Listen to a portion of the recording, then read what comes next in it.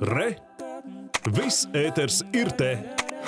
Bet Latvijā zušu un ķīšu bojāju Rāznas ezerā iespējams veicinājis skābekļa trūkums, tā uzskata dabas aizsardzības pārvaldē. Tomēr, ņemot vērā ezera specifiku un lielumu, Zinātniskā institūta biorpētnieki par to nav tik pārliecināti un šodien izskatīs arī citus iespējamos zivju bojājais iemeslus. Beigti zuši un ķīši Rāznas ezera krastos un niedrēs rada būtisku satraukumu. Dabas aizsardzības pārvalde secina, ka loģiskākais iemesls tik straujai zivju slāpšanai ir zema skābekļa koncentrācija. Savukārt tās pamatā ir ūdens ziedēšana, dažādi pūšanas procesi, gan arī nesenā svelme.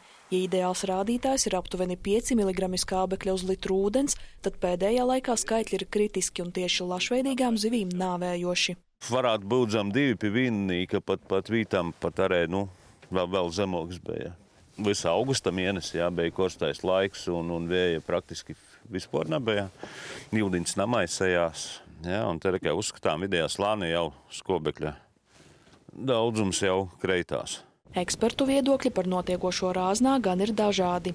Ļoti negribētu ticēt, ka rāznā ir tieši skābekļa problēmas, jo tas ir liels sažars. Eh, viņā nenotiek stratifikācija, jo vējš ieskrienās un no dziļajiem slāņiem paceļ tos augšējos ar skābekli bagātos ūdeņus. Pilnīgi noteikti pirmās mirst uz skābekli jūtīgākās sugas, un tie būtu droši vien kaut kādi zandarti.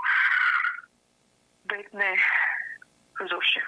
Pārtikas, drošības, dzīvnieku veselības un vides Zinātniskā institūta biolaboratorijā pašlaik notiek zivju izmeklējumi. Tiks pārbaudīta, piemēram, parazītu vai piesārņojošu vielu klātbūtne, elektrības ietekme un vairāki citi faktori.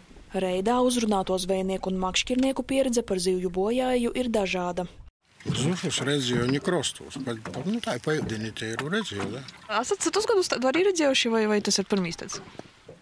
Bija. Nu, bija, jā, tikai. Var, varbūt ne tā daudz. Nu, pirmie zuši ir, jā. Bija viens uh, mīris, jā. Nu, sākam šodien pārbaudīt. Kā būs tālāk, nevaram atbildēt. Es redzēju mm, Facebookā, ja, Latvijas Nacionālā parka lapi, lapiņa. Nu, pirmā reize tad redzu. Tātad dzīves zuši ir vēl rāsnā. Jā, ir, ir protams, un būs. Un daudz. Jā. Tomēr noteikt konkrētus beigto zivju apjomus ir grūti. Zuši un ķīši var būt izskaloti grūti pārskatāmās vietās, tos ātri apēt putni un dzīvnieki. Karstākajā gada periodā līdzīga parādība novērot arī citas reizes. Dīķu saimniecībām, nu, tur, tur bija jā, tīšām, kas ar lašveidīgām zivīm nodarbojās. Tad, cevišķi par šo, šo gadu nav nekādu ziņu vēl, bet pagājušajā gadā bija jā, tīšām, kur, kur aizgoja visas zivs bojā. Bior informāciju par zivju bojājēju ūdeņos visā Latvijā saņem regulāri un iemesli tam ir visdažādākie, sākot ar pēdējo gadu klimata pārmaiņām, karstuma viļņiem, līdz nekvalitatīvai notekūdeņu apsaimniekošanai un tikai lielo zivju nozvejai, atstājot ūdenī mazākās, kas patērē visvairāk skābekļa. Bet, protams, divis mirst arī no vecuma, mirst arī no, no kaut kādām problēmām, mirst slimībām ir jāpaskatās, vai nav kaut kādas toksiskās ieplūdes bijušas. Jo diezgan bieži arī tā, ka ir kaut kādas uh, piesārņojušās vielas nonākušas ūdenī, kad ir vai nu skābekļa patēriņš pieaug un tad zivis mirst. Nu, tas ir diezgan regulāri. Projekta ietvaros noteikti krostāta tērēšana, nīdris un, un to sanesumu visu izņemšanu orā un nīdru pļaušana.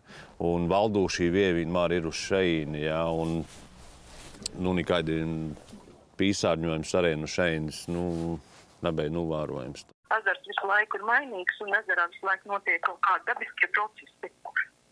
Un, nu, tas nav vienkārši atbildi. Mhm. Katrā ziņā mums katram jādomā par piesārņojumu mazināšanu kopumā visos uh, ūdeņos. Zinātniskā institūta bioru veikto analīžu rezultāti par Rāznas ezera zivīm būs zināmi šīs nedēļas beigās. Speciālisti uzsver, ka laikapstākļiem kļūstot vēsākiem un vējainākiem, arī skābekļa daudzums ūdenī atgriezīsies normas robežās. Ausmas Sprukta Kozule, Andrejs Mažāns, Vitālijas Duda Renoks, Latgals reģionālā televīzija.